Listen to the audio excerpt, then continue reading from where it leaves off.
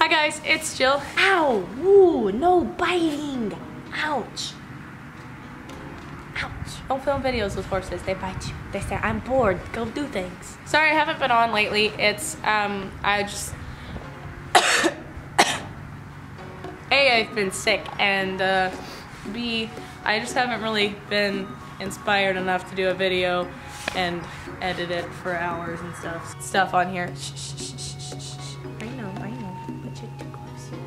Since I'm getting more into doing Liberty horsemanship with Beau, I figured that this was probably a good video to make. A lot of you have been asking me tips on how to bond better with your horse, and First of all, I want to clear up that I am in no way a Liberty trainer at all. I've been trained an eventer for eight years where everything is bits and spurs and blah blah blah. Don't get me wrong. I haven't like been abusing him or anything, but that was the only thing that I knew before. So like the only like I didn't know that there was a whole nother world of communicating with your horse other than just using you know, machinery to get them to do what you want. Yeah, so I'm slowly easing both of us into this world and it's really foreign for both of us and I can't really, I, like, Liberty's kind of one of those things that I think you just have to kind of figure out for yourself and your horse. It's so cool. I'm not gonna make a video on how to do Liberty because I, I don't know at all actually. I'm gonna give five tips today on how to better your bond with your horse. Tip number one being don't come out just to ride. Oh, bo says, what? Not just riding? Beau, Beau, Beau, Beau, Beau, Beau, Beau. Since it is off season, I can, I don't have to be constantly riding all the time. And so when I come out here, sometimes I just come out to mess around like I did today. Um, like I put a tarp down and played with him over stuff like that and just came out to have fun with him and mess around with him and let him be a horse. Like I didn't even have the halter on him, but I, I had to ride up to go get a battery for my camera because it died. Just have have some play days with them and don't don't stress them out if they're not doing what you want them to do. Ow! Oh, he's like, take me to the barn. But like, I mean, don't make it stressful. If they won't go, if they won't follow you over a jump, then don't worry about it. If they won't go over the tarp, don't stress it.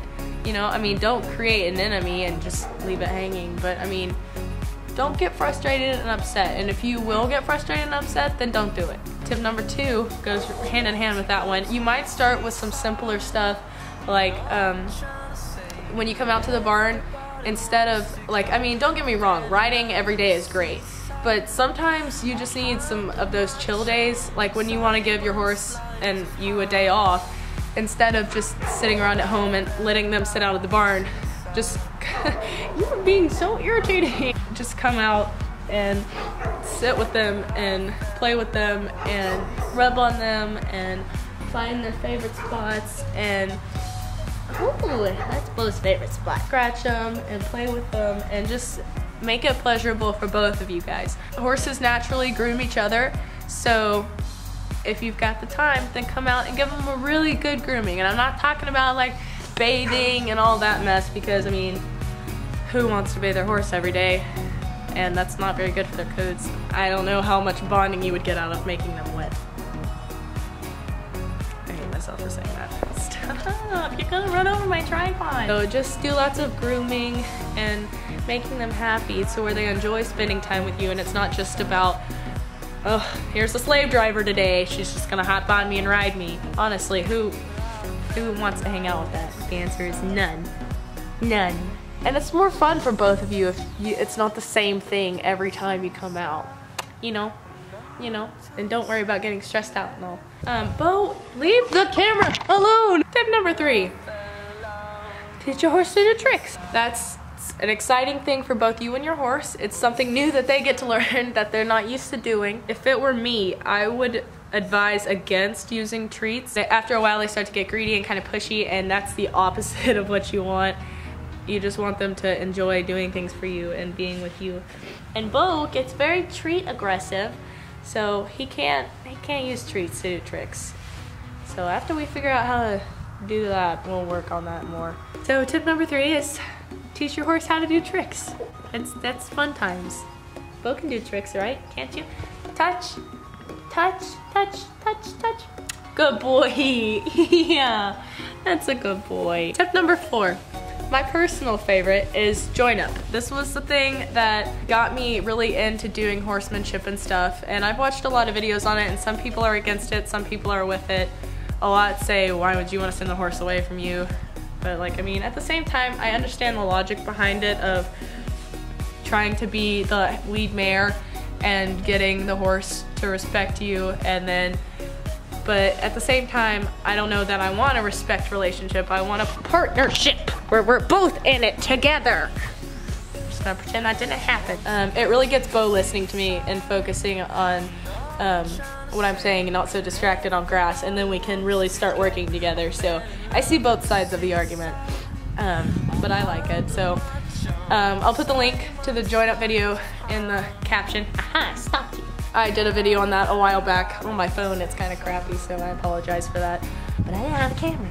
The fifth tip that I'm gonna advise bonding with your horse. Drum roll, please. I would advise that you take some rescue remedy, which is this magical medicine this that takes away all your anxiety. So when you come out here to the barn, you are just chill and relaxed and happy to be here and it's not work, work, work.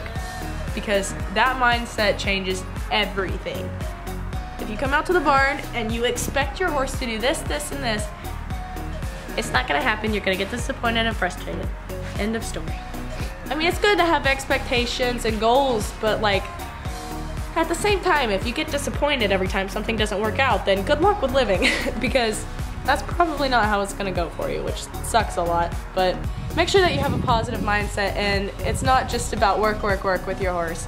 And because that's the biggest thing. And when you're both calm and happy about working, then everything will go positively in the end, I think. Good vibes, right? Good vibes. Because every horse person knows, they sense those things. And if you're in a bad mood, they're gonna be crazy, right? Because they say, haha, we gotta make you even more angry, right? Because it's funny. Alright, you guys, thanks for watching. Make sure you subscribe and um, comment comment other ideas. Comment how you bond with your horse and your favorite, maybe their favorite itchy spot. Because Beau's is right on his neck. He says, I love it so much when you scratch me there. It feels amazing. Book. So, comment your favorite thing to do with your horse and make sure you hit that like button and subscribe and thanks so much for watching check out my other videos because Beau's in a lot of them and I'm very very so cold I'm freezing I swear to god. It's so cold. You're such a good boy. Okay. Thanks so much for watching. I'm really sick. Oh my god. Beau says goodbye